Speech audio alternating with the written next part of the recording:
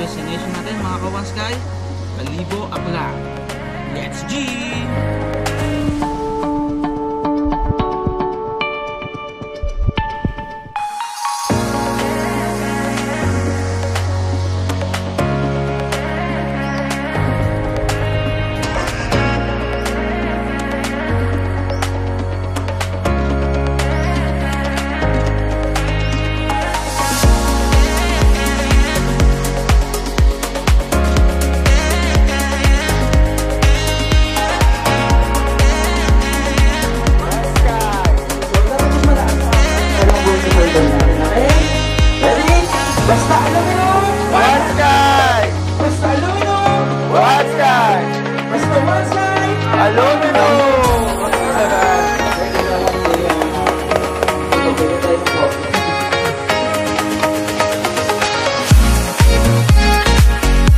Ren Cervantes po.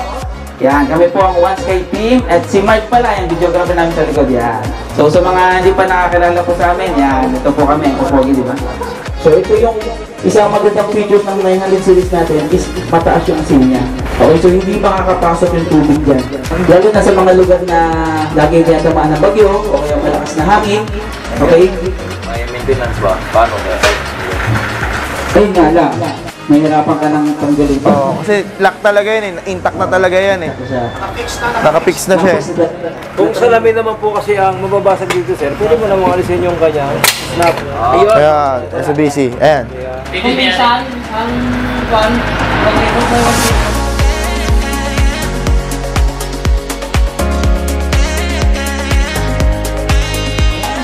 Ano ba yung advantage ng aluminum? Siyempre, di ba? Wood.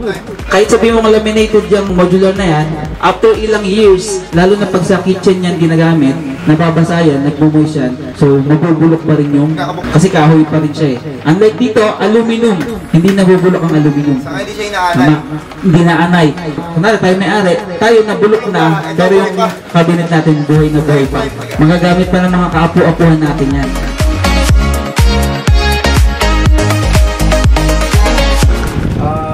Ah, balita po namin sa inyo, nag- nagsimula po siya sa isa katao na si Sir Chris Star Samarita. Ito po yung school institute po sa mga aspiring na tao na gustong matuto. Purely business po ang ituturo namin sa inyo.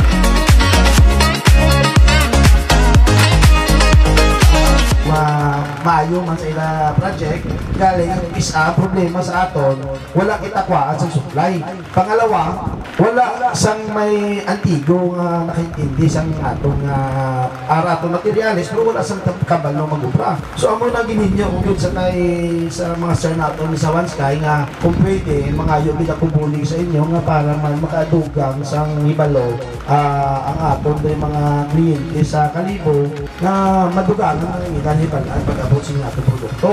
At nga magbinuligan na lang kita. So amo lang ang akong mahatag ng gamay nga design baby